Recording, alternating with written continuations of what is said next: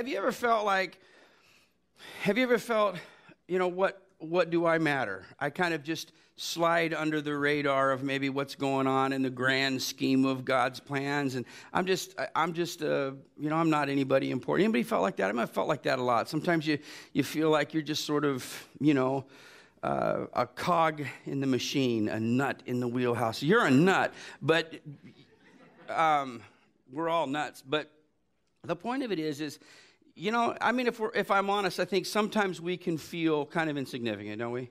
And one of the great privileges that I have as a pastor is I know so many of your stories. Now, some of your stories I don't know, but so many of them I do know. And here's what I know I know that just even in a congregation this size, we have, we have we have single parents, for, for one, who have endured really difficult seasons and have sort of dug in and done the right thing and they're raising their kids and they're it's hard. And we got we got families like that in our in our community. Um, we have we have grandmas and grandpas who have already raised their kids but are now raising grandkids. We have those those folks in our in our church we have we have married couples who have endured unbelievably hard things, either in their marriage where they, they, they, they bordered, you know, they, they teetered right on the brink of divorce, and yet they stuck it out, they dug it out, they learned some things about each other, they kept their families together so that they could raise their kids effectively. We got those folks in our in our in our church. We have folks that have gone through extraordinary health issues and still still sort of stuck it stuck it out and went, you know, got through it and raised their families and we have young people who have endured unbelievably dysfunctional childhoods, that they've gone through just all kinds of dysfunction, and yet they haven't allowed it to, to destroy their faith or, or to, to steer them off course. They've, they've continued to move forward in their faith. They educated themselves. They're moving forward in life. And so we've got all these. I could go on and on and on and on and on. It's one of the, one of the privileges I have of being a pastor. Now, here's what I know when you're, when you're part of that, when you're part of that those those types of situations, it can be really you can kind of feel like you're just you're you're all alone. You're just sort of digging out life as best you can, and it's hard. And what what difference do I make? Anybody ever felt like that? I felt like that. We're gonna we're gonna look today at a passage of scripture, um, kind of an unlikely an unlikely text that sort of jumps out a little bit at me that focuses kind of shines the light on these types of situations ordinary people doing ordinary things, but, but and, and enduring just sort of ordinary life. Because life is tough, isn't it? And yet God, God kind of takes a moment and pauses and reflects on these folks just for a moment. And I, I know it encouraged me when I read through it today, and I think it'll encourage you today, today as well. Let's pray together. Lord, I thank you for your presence in our midst, and I thank you that you are a strong and a powerful God, a mighty God, a God that's a great privilege for us to serve, um, a God that has worked out the plan of human redemption and, and that bring, is bringing salvation to the world. I'm grateful that we can put our trust and our hope in you, and that, um, as your word tells us, that that through you all things are made new, including ourselves, new creations in you. So I thank you for that. I thank you for uh, celebrating the Lord's table with your people, and, and I thank you for your word and for your spirit. Guide us, Lord, by that word and by that spirit, shaping us, making us more and more like you, and more and more in tuned to the mission that you've called each of us to. We pray this in your name. Amen. If you have your Bibles, turn to Acts 9, picking up where we left off before we did our Stuck series. And uh, this is the, the, the focus of Acts is changing a little bit. Acts, as you, as you may remember, was written by Luke.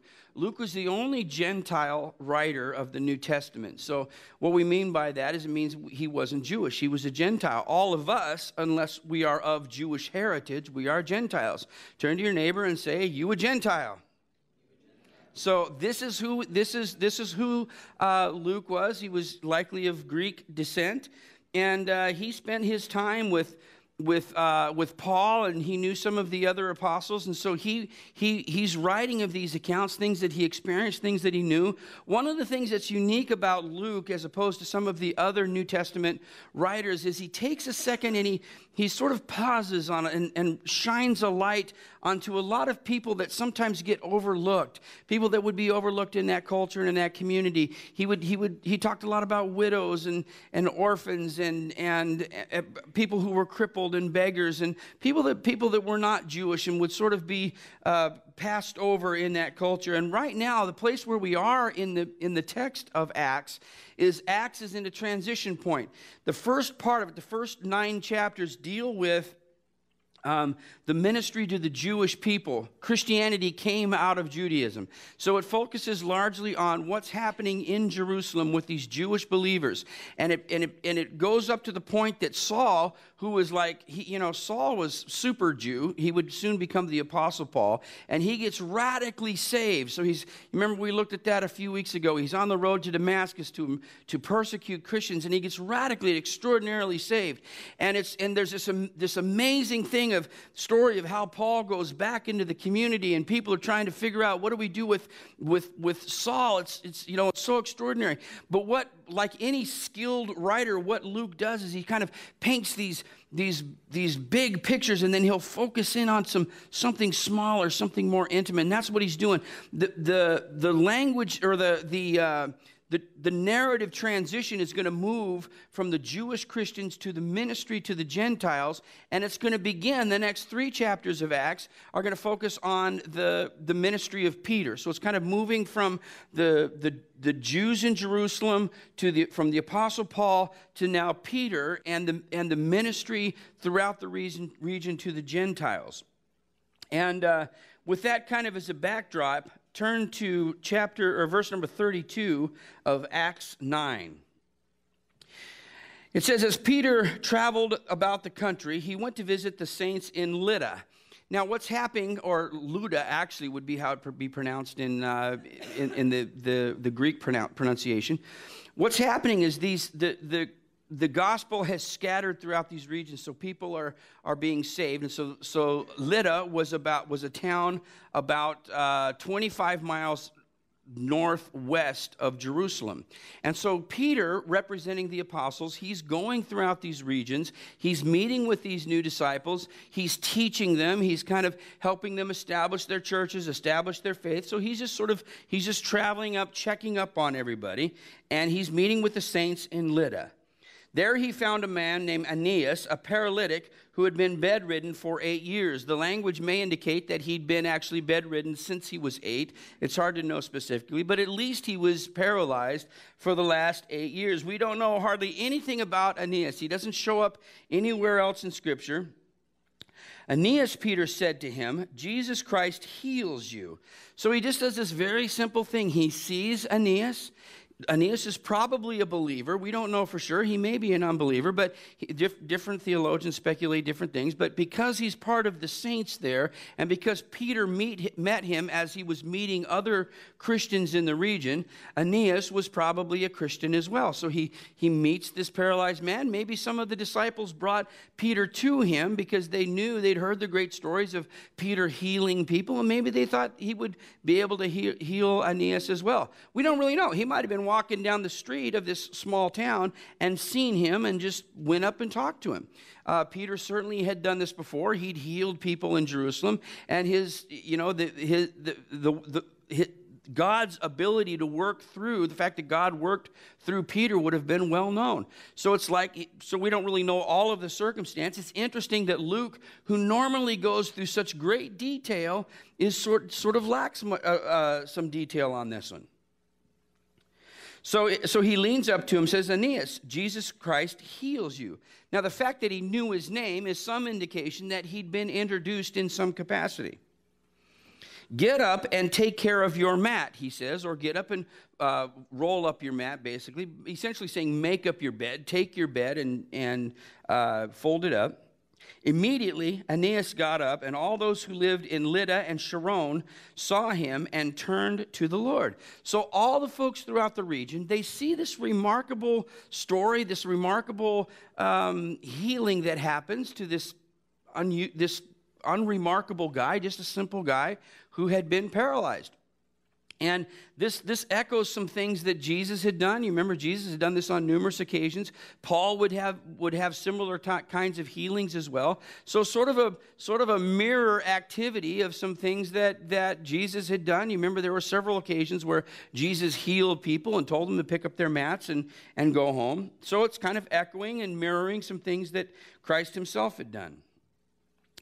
Now, another 12 miles up the road, there was a larger city named Joppa. And in Joppa, there was a disciple named Tabitha, which, when translated, is Dorcas, who was always doing good and helping the poor. So there's this woman. We don't really know a lot about her, other than she was well liked.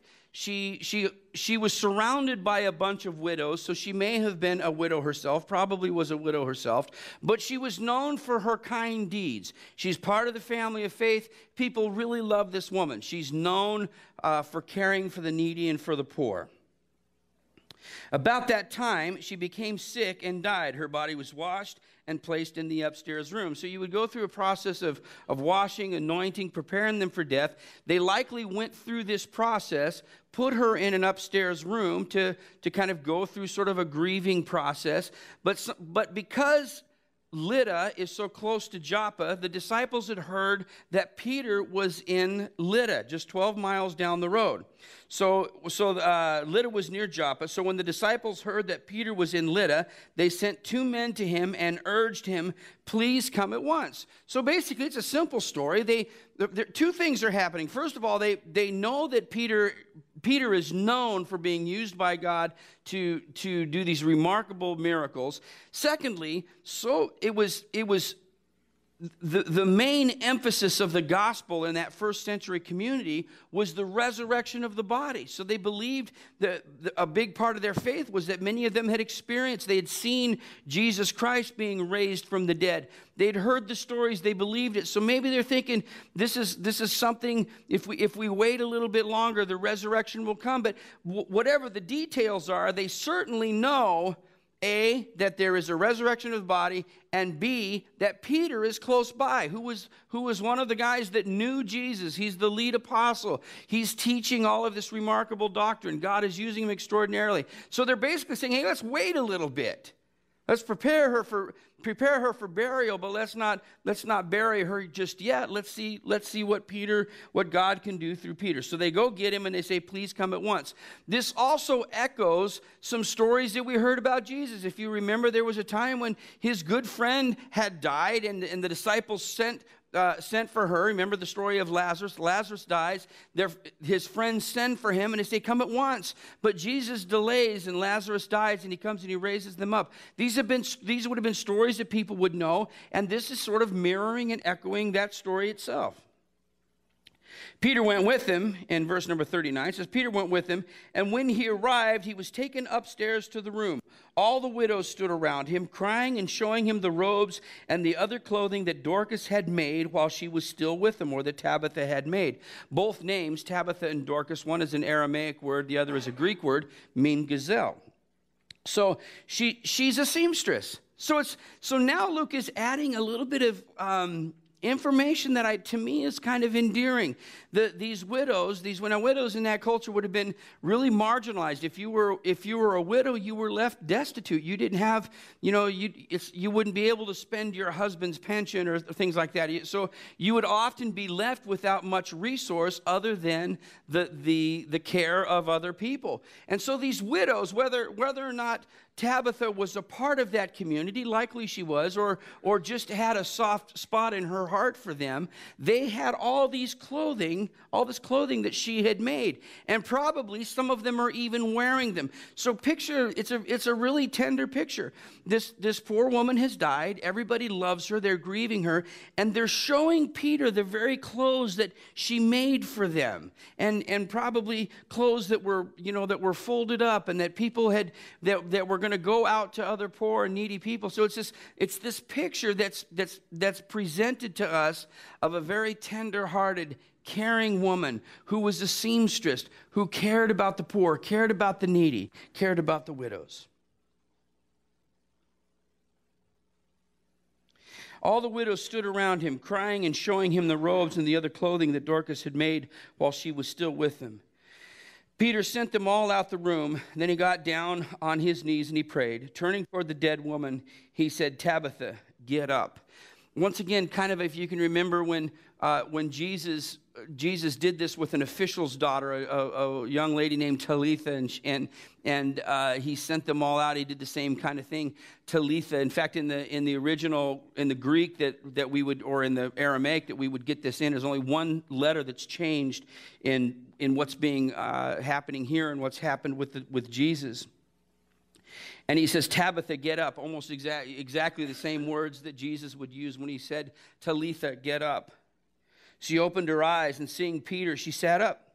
He took her by the hand, helped her to her feet. Then he called believers and the widows present to her. Uh, then he called the believers and the widows and presented her to him. So he called all of her friends back in, presented her to them alive.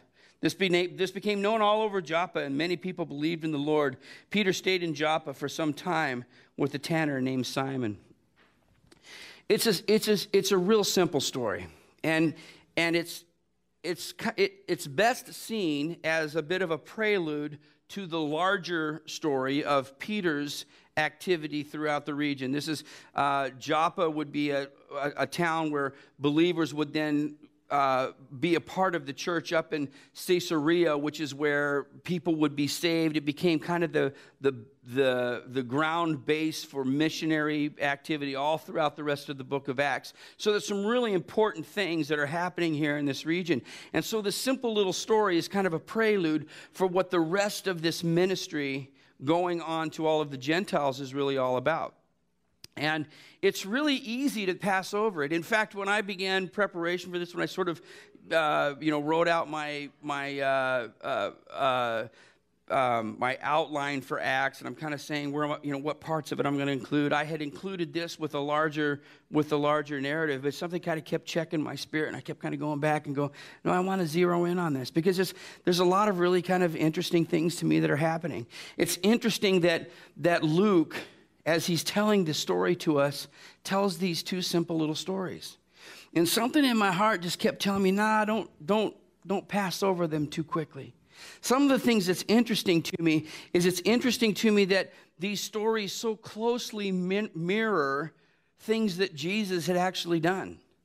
Um, and it demonstrates, to me, it demonstrates the, the relationship of the disciple and the one being taught, the, dis, the disciple and the rabbi. Jesus was the rabbi, these apostles were the disciples. And throughout the ministry, Jesus would, his life with them would be you observe me doing things, and then he would ask them to do things, and then he would sort of follow up and say, Now, how did that work out? Explain things to me. And, and, and the whole point of it was imparting to them what Jesus would know to do as the rabbi.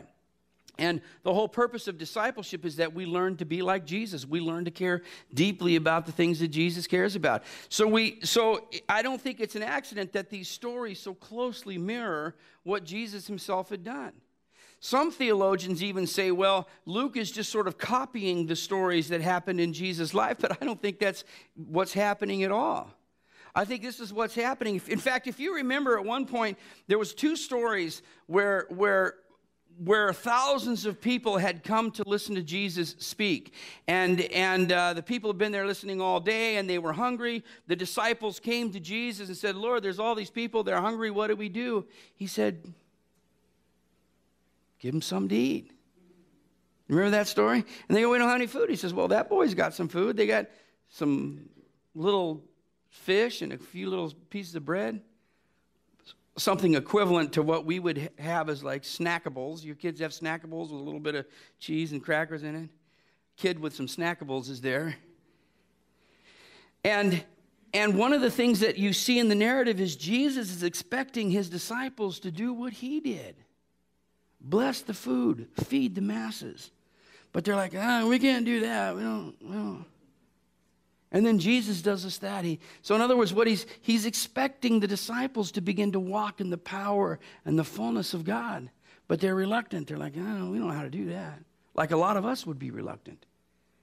But then as they go through these experiences, as, as, as Peter is, is reconciled and, he's, and he's, he's equipped by the power of God and by the power of the Spirit, you see him now doing the very things that Jesus did, things he was reluctant or unwilling or unable to do before. Now we, say, we see him mirroring Jesus. Aeneas, power of God heals you. Now pick up your mat. Tabitha, come. Echoing the very words of Jesus and these miraculous things happening. It's a reminder to me that we're supposed to do the things that Jesus did. In fact, he told his disciples at one point, You're going to do even greater things. Wow. So I read these stories and, and I'm, but at the same time, I'm, I'm kind of filled, probably if you're like me, you've got a lot of questions. I have, the text raises some questions, doesn't it? The first questions I have is why Aeneas? Why Tabitha? Certainly, there were lots of other people that needed to be healed, huh? There were all kinds of people in Jerusalem that needed to be healed. Certainly throughout Lydda, Joppa, Caesarea, Antioch, all throughout these regions, there were people that needed to be healed. Why these two? Well, we're, never, we're not told that. But it, it, it's applicable to our day to day too. Why does God heal who He heals? I can't tell you the answer to that. I've, I've been healed, I've prayed and received healing, and I've prayed and not received healing. I've prayed for people who have been miraculously, divinely healed nearly instantly. And I've prayed for people, sometimes for years, that have never received healing. I can't explain it to you. I don't know why that is. It reminds me that healing is in God's hand. And if you've been prayed for and you haven't been healed, that means that God has a cross for you to bear, that somehow in bearing that illness or that sickness, somehow in bearing that pain, you're going to be transformed into the image of Jesus. I, I can't explain it to you any more than that.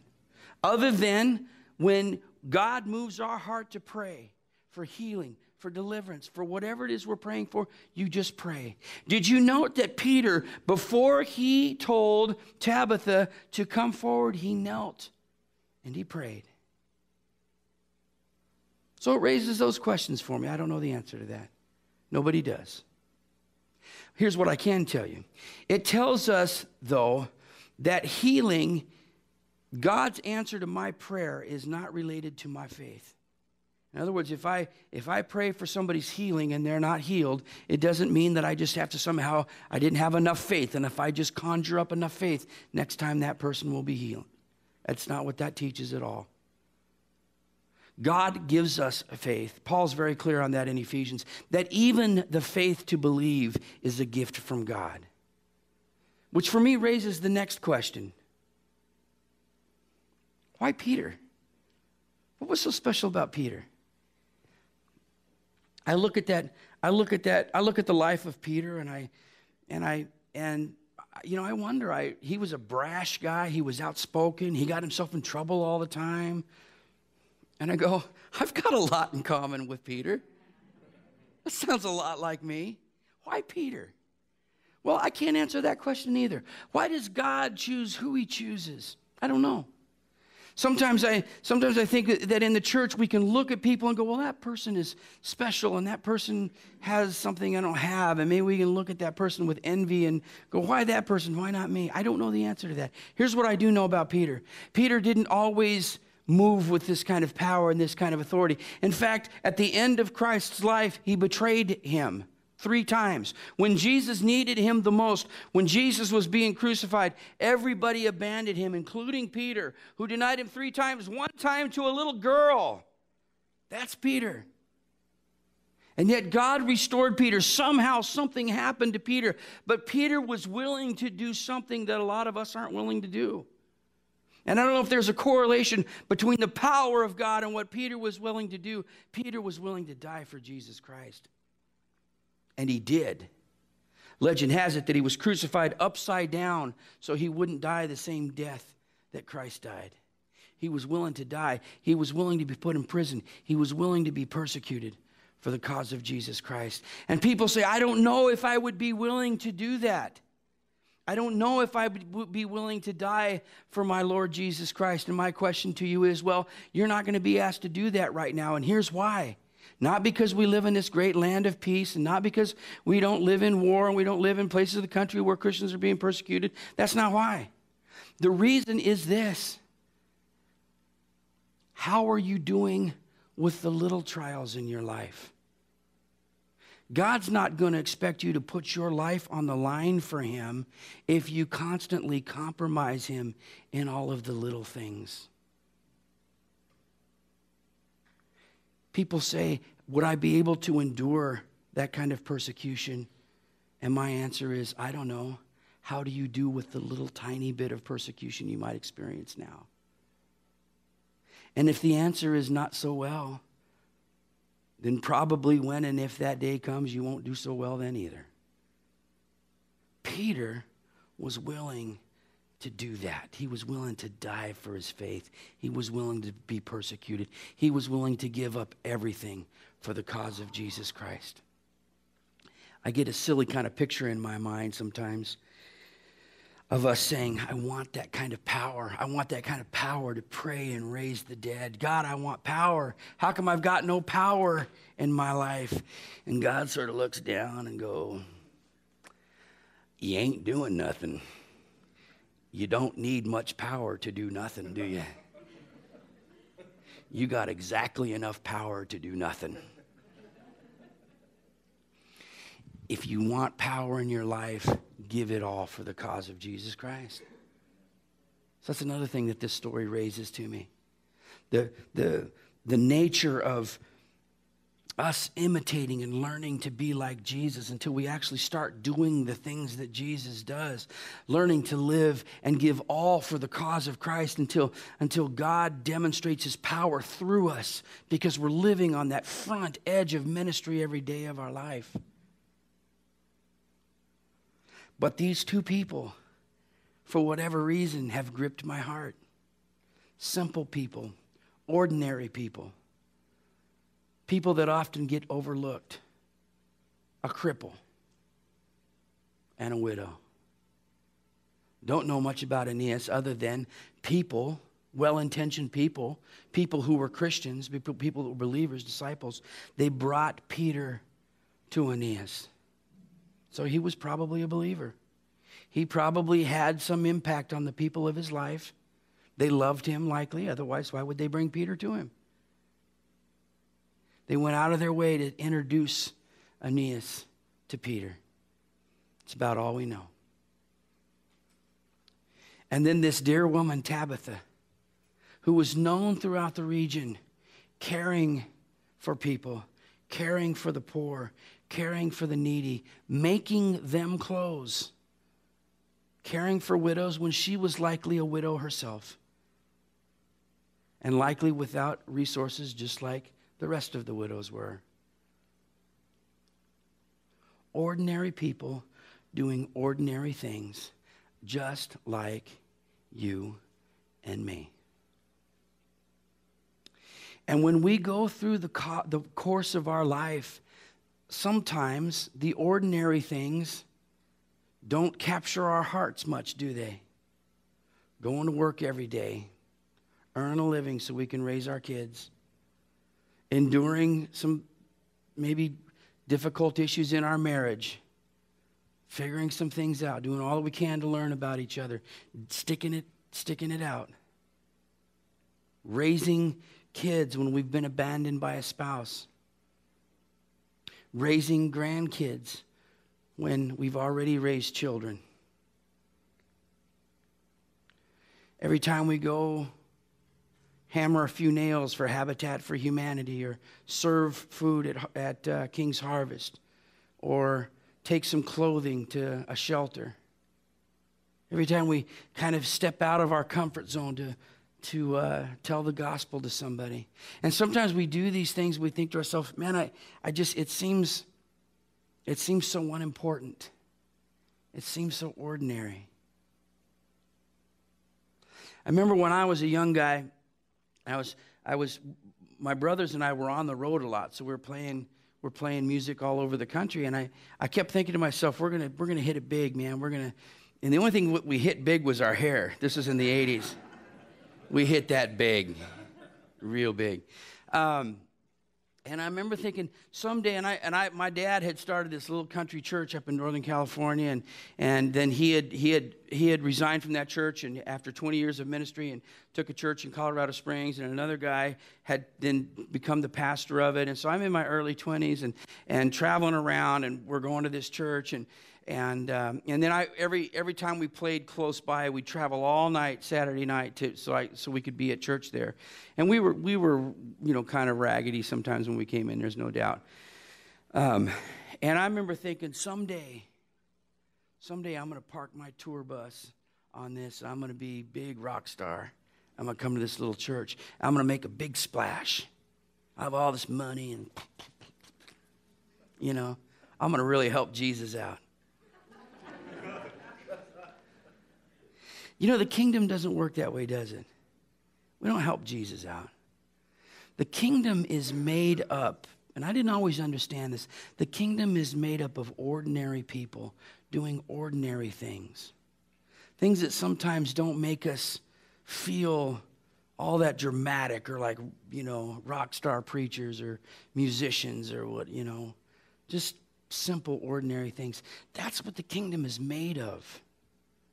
It's made of the Tabithas. It's made of the Aeneases. It's made of people like you and me doing simple, ordinary things. And it means a lot to Jesus. Whenever you think to yourself, my life, what is, does Jesus care about my life? The things that I do, is it important? Let me show you how important it is to Jesus. These are the words of Jesus.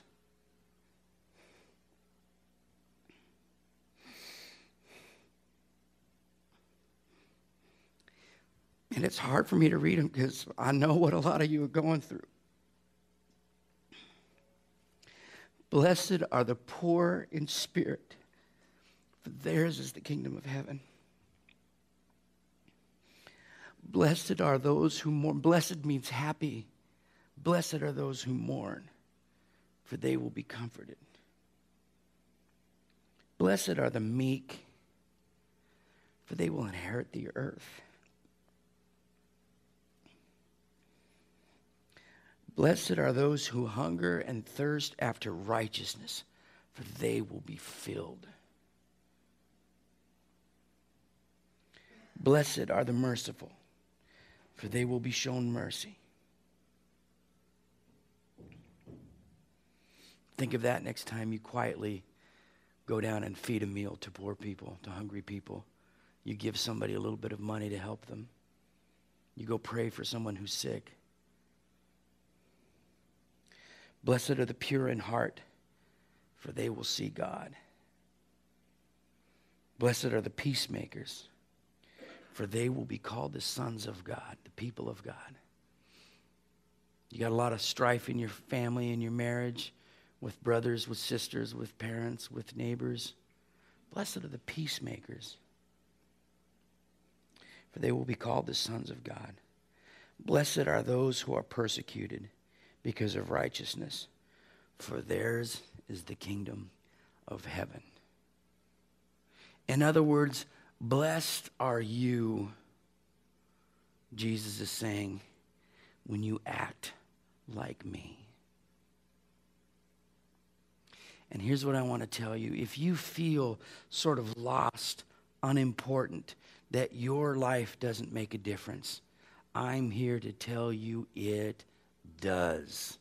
It makes a difference in dramatic fashion because the things that you do, the duties that you quietly fulfill, those acts of righteousness. Jesus at one point says, If you do your acts of righteousness before men, you've got your reward. Good for you. But when you quietly fulfill your acts of righteousness, quietly fulfill your duty as a husband, as a wife, as a father, a mother, a friend, an employer, an employee, whatever your capacity is, a grandparent, when you quietly fulfill your duties, you move the heart of God. You matter. Church, don't ever forget that. The kingdom is upside down. That's what the kingdom is all about. Let's learn to live our life like Jesus Christ. And in doing that, we move God's heart and his hands. It's ordinary people doing ordinary things being used by an extraordinary God. You matter. Got it? God bless you. Have a great weekend.